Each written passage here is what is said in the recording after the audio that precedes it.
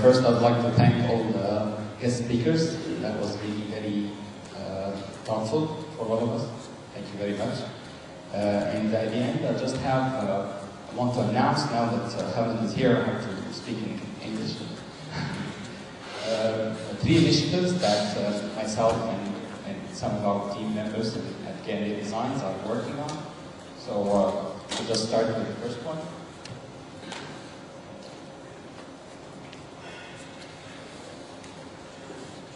Okay, um, when I first started to talk, I mentioned that there are other opportunities than in the field of real estate other than the mainstream real estate that we all discuss and talk about, which is compounds and resorts, etc.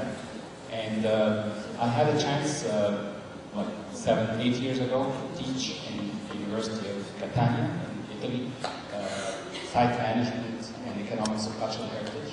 And I thought it's a very strong opportunity for investors and developers to work in the field of cultural heritage. Unfortunately, in Egypt, uh, the government is managing cultural heritage, which is not the case uh, abroad in, in, in, countries such as Spain, Italy, France, etc.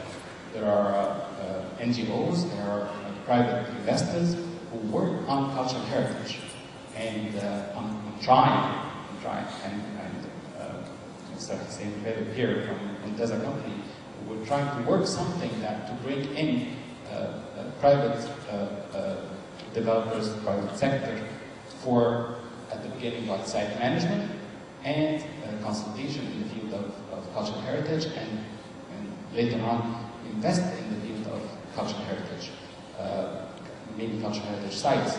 So we we trying to found uh, Lotus uh, Cultural Resources Consulting and Management uh, to work with the government on cultural heritage sites uh, in Egypt, and then we should expand in, the East in general.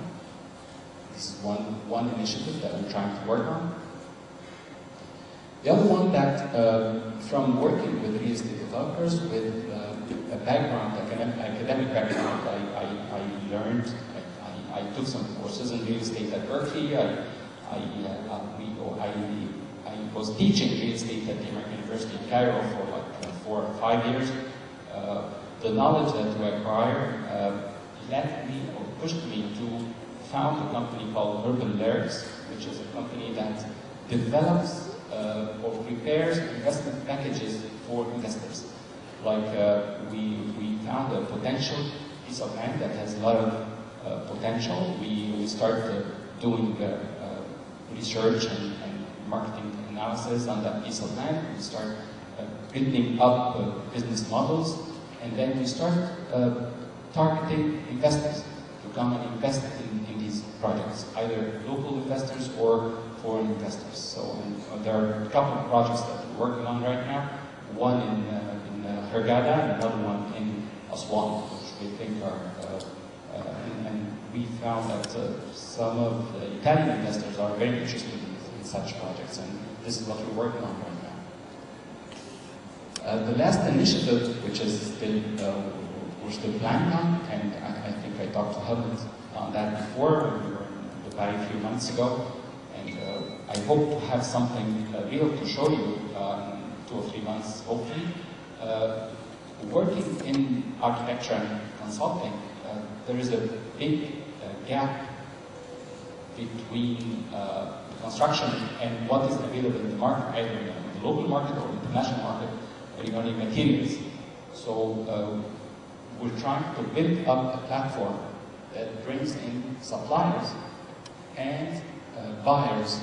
Buyers could be either develop, uh, developers, uh, uh, real companies, contractors, etc., to bring them together to select the right material at the right price efficiently through a very transparent process. And this is, I think, one of the elements that, that Helen talked about.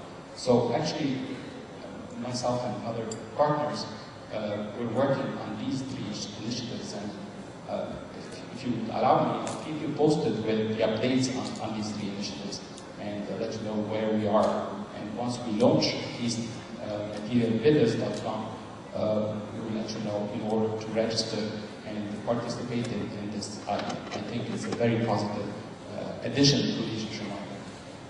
Thank you very much. And then at the end, I'll just want to thank my team, K&A Design team. Because uh, actually we did not hire a firm to organize this event. They, uh, that was all the efforts of, of our group, so thank you very much. And actually, this is not the end of our day today, because this is, today should be uh, our annual meeting to set up objectives for K&A Designs for next year uh, with the participation of our uh, consultant, Mr. Ahmed Demir. So I hope uh, we have a good discussion and rest of the day. Thank you very much for answering our invitation and looking forward, we, we try to have this event organized annually, so I hope uh, we'll keep you posted for next events, inshallah. Thank you very much. Um, but then there's uh, one piece of paper in your folders uh, for suggestions for next year and evaluation of the current event. So before you leave, if you may fill it up before you leave, I will be very thankful.